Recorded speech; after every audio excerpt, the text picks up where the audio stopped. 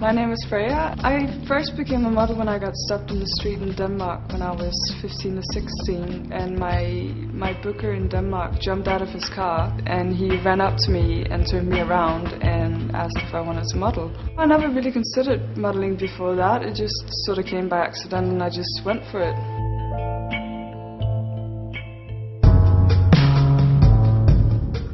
I think my personal style is pretty simple. It, it usually just involves a tank top or a t-shirt and some jeans and some big boots and a leather jacket.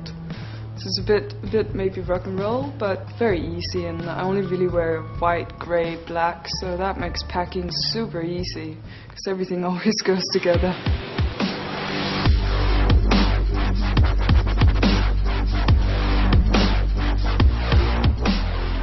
I have 16 tattoos. I don't actually remember which one was the first tattoo anymore, but uh, I started when I was 16. I stopped now though. I've never had any issues with it.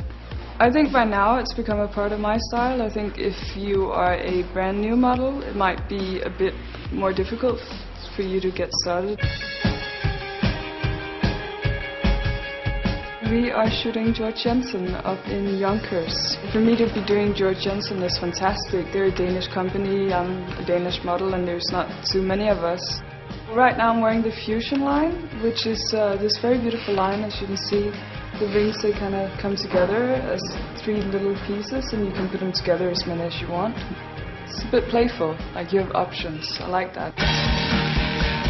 I think everybody remembers their first show.